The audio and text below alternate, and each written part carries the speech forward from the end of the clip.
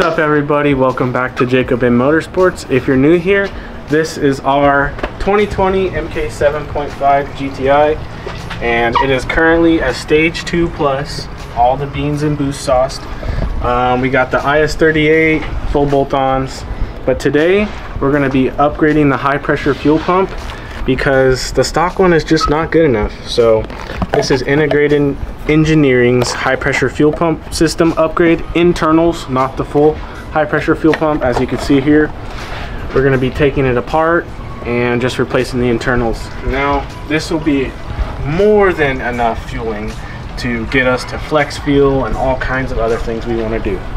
Um, and then you will also need a tool to pull apart the internals. So shout out to 034 motorsports. I will link all these products in the description down below but we're gonna get right into it and I'll show you all the tools you need and how to do this.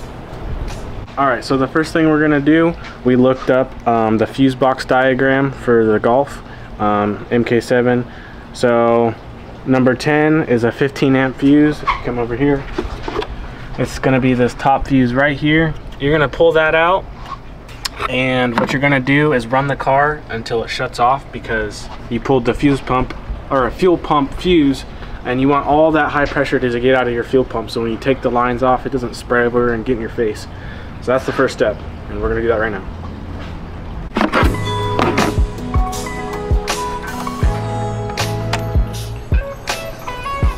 Okay that's a 15 amp looks good. Here the very top one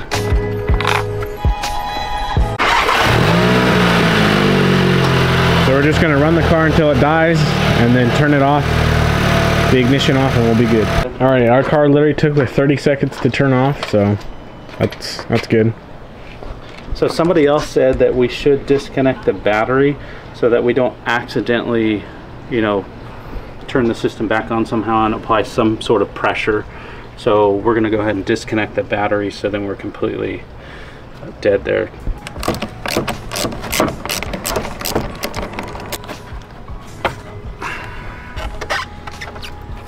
All right, so we gotta disconnect our wiring connection here. And if you just take a small flathead, you can lift it up off that tab. Voila. Okay.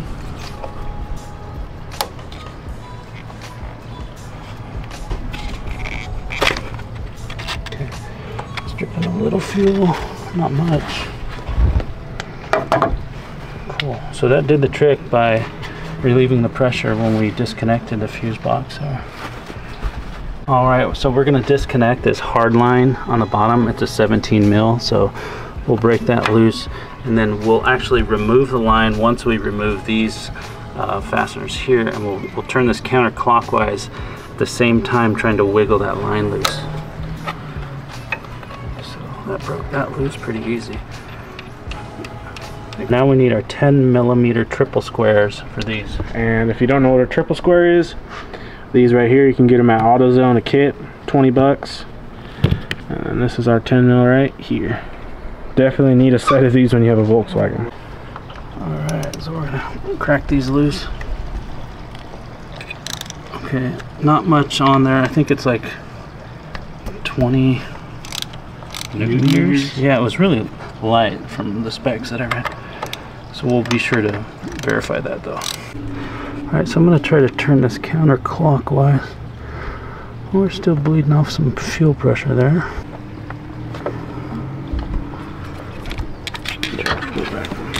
Alright, so we got it loose. Okay, so it came out. So this is what we're after right here. So this shaft in here, we've got to get out and replace. That's that special tool we bought that fits inside here before we get that out we have to compress this spring remove that keeper and then this will this will disassemble. Then we can use that tool and get that out of there. So from IE this kit was $449 now that may be expensive for you um, as to other options on the market but with IE you know you're gonna get good quality every single time we have never been let down by them. Customer support is amazing. Everything is made extremely well. All these pieces are just amazing. and some instant parts cleaner degreaser. We just want to make sure this thing is nice and clean, no debris. Not only when we disassemble it, but when we put it back together. So I should be wearing gloves, kids. Don't do like I do. So our parts in the vise, and what I'm using is a valve spring compressor, just like an automotive valve spring compressor. And we have it over that piece right there, that spring. And we're basically gonna compress that spring down until the retainer doesn't have any pressure on it so that we can pop it up out of there. That's the goal. If it doesn't work, then I'll update you guys with something else we're gonna try. So this technique actually worked very well. So you apply the pressure to the spring and you do a double screwdriver method and you basically just bloop, pop that ring out. Good, better than all the other methods I've seen. So this is where our special tool comes into place. Um, this piece in here uh, from 034 fits directly in there just like that and it's a nice tight fit not like some of these amazon ones. Uh, what was that other company that was super loose that people complained about? Uh, we can link it on there but yeah. this is the one. We would have got it from ie but when i went on their website they were back ordered so i needed it in a hurry and these guys 034 had it. There it goes. Stripped. Shut up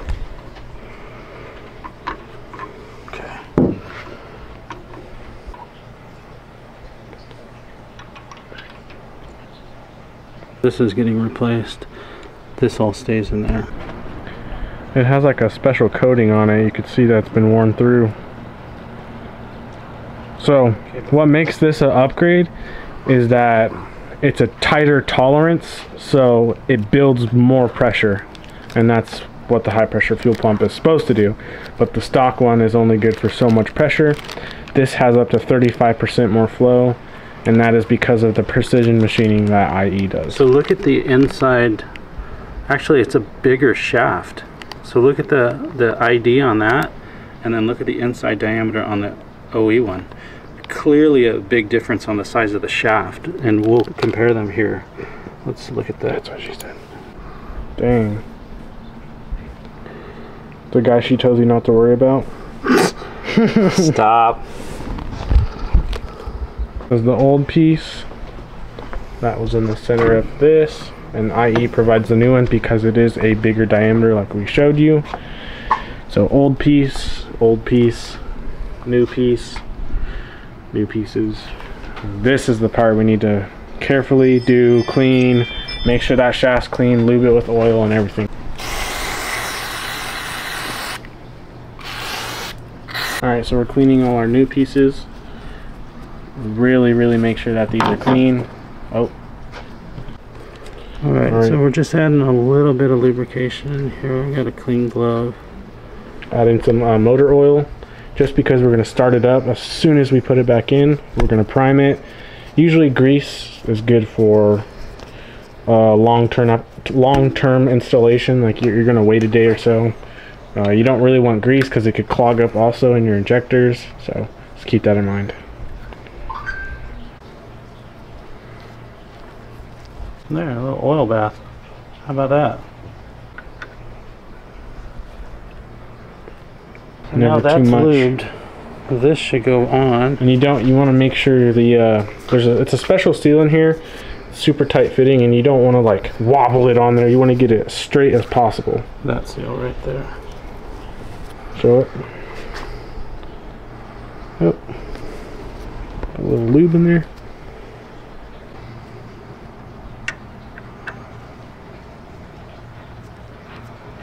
I'd say that felt good.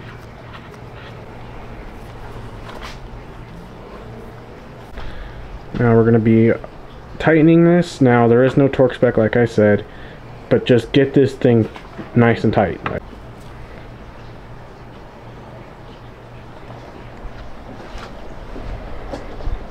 Okay, that's good and tight. Alright, so I guess we will be the first to make a video on IE's high pressure fuel pump install, like a detailed installation.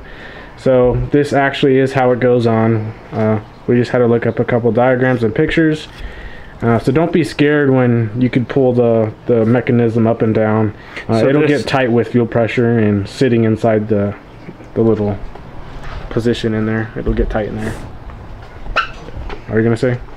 I was gonna say, so this this retainer clip, it doesn't uh, really put tension on the spring. The shaft is long enough to go down in past that seal. Then this retainer goes in on top of the spring and just holds it at a set position. But it's not like the factory one where you had a pressed on um, retainer. Yeah. So this is not pressed on. It's not holding the spring under any tension here. It'll hold the tension of what the Once pump produces. Yeah. And that's what we want. And that's what we wanted to know. So now you guys know. So now we're just gonna go ahead and put it back in the car.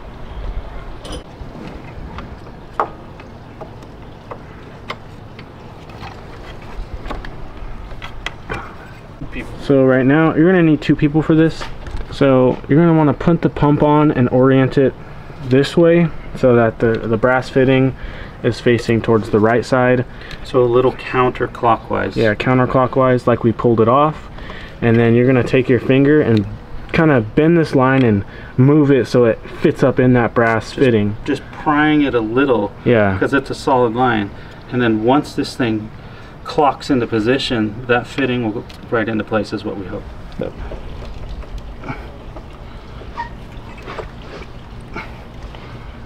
It's like spring pressure. Let me get a couple of bolts.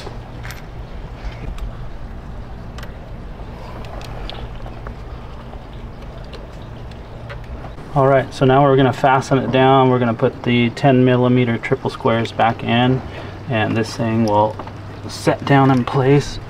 And because this is not tension from the factory, um, all the spring pressure is when you put it back on. So that's, we need to snug it down with those two bolts to apply that pressure and get it seated correctly. And that is a ball fitting, so that swivels and has some movement, and then that's when you screw it on.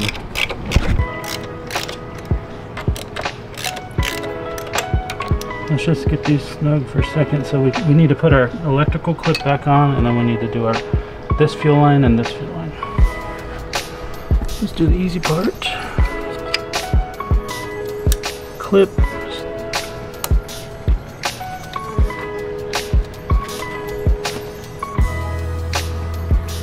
Voila.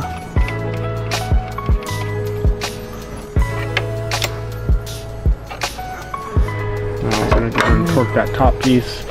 I'll put the torque spec on the screen and then we're gonna torque that down. Just torqued up. Super light. We put the fuse back in, but we haven't connected the battery.